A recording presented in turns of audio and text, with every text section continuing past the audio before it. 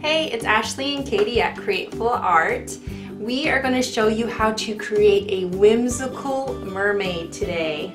So let's get started. First of all, I'm going to be using this lesson plan that you can find at createfulart.com. It will walk you through step by step this lesson, all the information you need to know to have the most success with this lesson. Step one is set up. First you're going to need watercolor paper, some watercolor pencils, Micron artist pens, a ruler, cup of water, and paper towels. There are three rules to follow. The first rule is when you are using your paper towel and some water to wipe away any lines you don't want, you need to not press hard and scrub in the area. Rule number two, do not press the pencil hard on your paper. Rule number three, let your paper dry before you draw over it with the new line that you want. You can take breaks in between the steps all you want and push pause to slow down the lesson. Step number two, draw the face structure. Use a flesh colored pencil. Start by drawing an oval in the middle of your page. So I'm going to tilt my oval to the right here to give it more interest. Divide the oval into quarters. Make sure you slant your lines just like you slanted your oval. Next, draw the eye line guide and the dots. This is the upper eyelid line guide. This is going to be the inner eye point guides. Notice how it's equally distance from this line. This is the outer eye point guides. Again, equal from the sides and this line. This is the middle of the eye guidelines and up here. And then I can decide where I want my pupil to be and that will be where my mermaid is going to look. So if I want it to be up like this and her looking over this direction, I will draw my points the same distance in the same direction from those lines. Now I can draw the outer shape of the eye. Next I draw the eye shape. So there's an eyelid that comes up and I can make it come in like that or down like this. And eyebrows. Notice how they start just above this line right here. And there's many different shapes of eyebrows. This is the shape I want to give my eyebrows.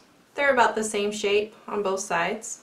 Now I'm going to draw the inner eye, which is a circle. Now I'm going to draw the pupil, which is another circle inside of that circle. And then another circle inside of this circle is the reflection on the eye, which will end up just being white in the end. Then I'm going to kind of give myself um, some idea of eyelashes, which are curved lines that move away from the eye and to the side of the face on both sides. So curved line, curved line, curved line, curved line, curved line. And then some curved lines down here. Now we draw the nose. We need a nose guide. So from this line to this line, we're going to divide it in half again. Okay, this nose shape is an L shape and where the light is bouncing off the nose, I don't want the L shape. I want it to be in the shadow area. So this is going to be the side of the shadow area and I'm going to start about right here. And I'm going to make a backwards L that meets right here and then curves. Then I draw the nostrils, which are kind of like a W shape that meet in the middle here and come around. All these shapes and all of these lines are in the lesson plan that you can get. So be sure to head over to Createful Art www.learningwithmommy.com and get your lesson plan to help you through this. Now you draw the mouth. You need another mouth guide, which is a line half halfway in between this line and your chin line. Now we're going to draw the lip cleft. So that's a lip cleft. It's just a line. That's easy. Right below the nose. Okay, and then your lips are going to start right below that. And you're going to make this U shape right here. And there's all different kinds of lips. So this one's going to be pointy lips like mine. and an M shape.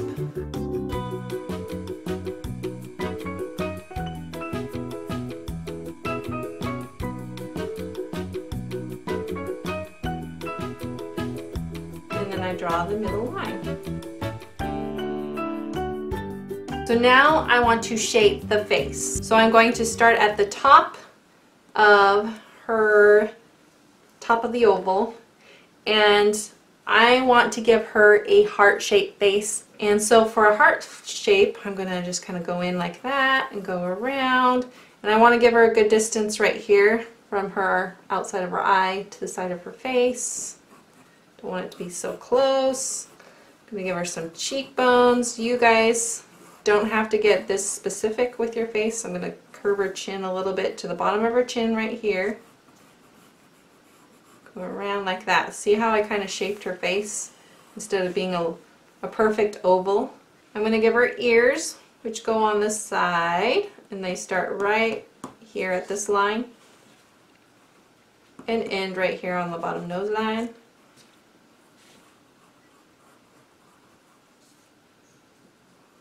And they don't have to look like perfectly shaped ears. They just need to be the idea of ears. Step three is draw the body and the hair. So the hair on this side starts at the nape of her neck which would be under her ear right here. And it's a wavy line that goes up to the middle of the top of her page. You can make this line however wavy you want. You can make it curly it doesn't matter and then the right side is another line, another wavy line that goes to the side of the page. Draw the mermaid's neck, which is a line that comes down around here, just inside that line. Okay, and I'm curving it to the right a little bit.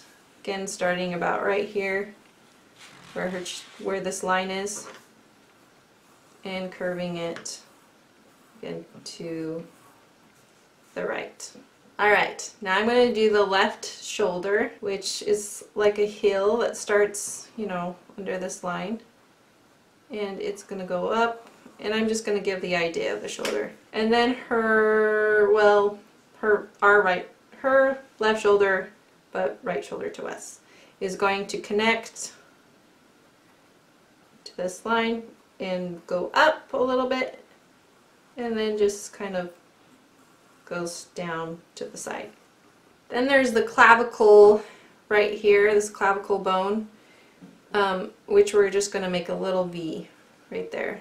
Now we're going to make her swimsuit top, but we want the we want it to be right underneath this V shape, the middle of the M. So we're going to go do and do like that. M shape.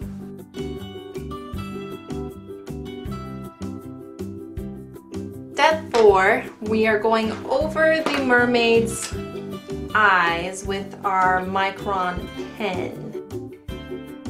And then color in her pupil. And then we're going to go under her nose.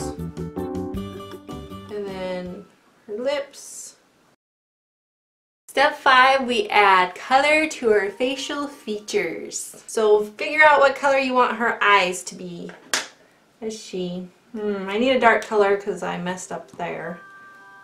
I'm going to go with purple eyes.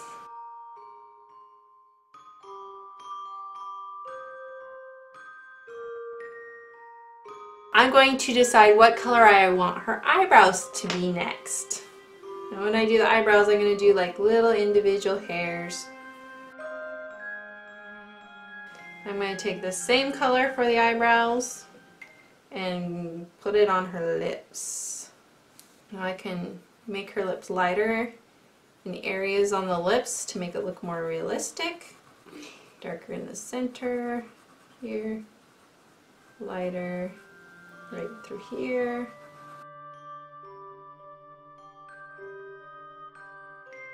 And then the cheeks, I want to color her cheeks a little bit.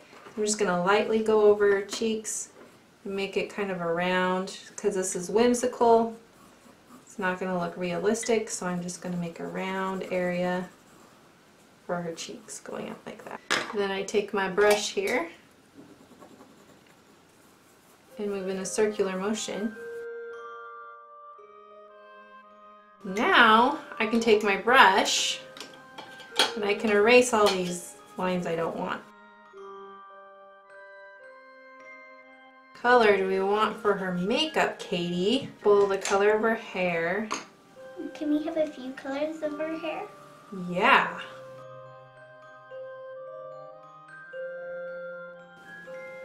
Go ahead and make adjustments to your mermaid as you see you need to. So the next step we're going to decorate the mermaid. You can decorate her with crowns or starfish or what else? You can put in bubbles in the water. Be creative, have fun. Mm -hmm. And you can finish up her hair if you like. You can do whatever you want to it.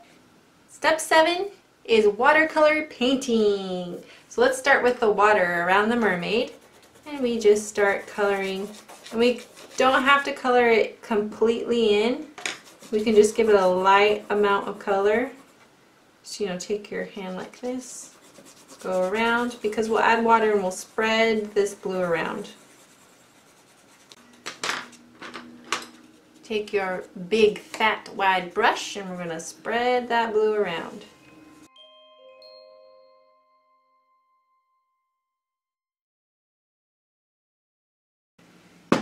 Next we're going to color her skin. We have all different skin colors so you can just pick one you like for her face. I'm going to go with a tannish color. And I'm just going to lightly go over the light areas and then I'm going to add shadow in the darker areas. Again, I give you more specific steps to follow for the shadow areas in the lesson plan.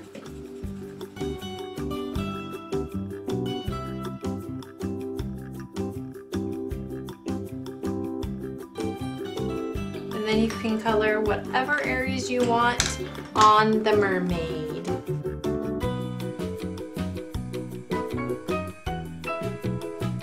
Now to make it look extra whimsical, we're going to be adding some contrasting colors to the very shadowed areas. I'm going to show you where to put those. So the contrasting color would be, because of her skin tone, it would be um, like a, a blue or a green. So where it's really shadowed, which would be this side, we're going to add, and this is going to make it look really whimsical.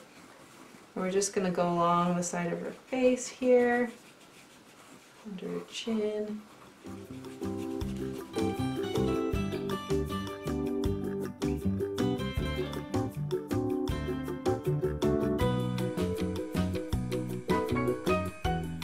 And once you're done, you can put it in a frame. There you go.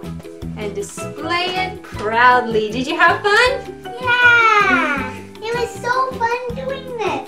Be sure to subscribe to Createful Arts. We are doing some beach theme art projects all summer long. Give it a thumbs up. Check out these other lessons and we'll see you next time. Bye! Bye!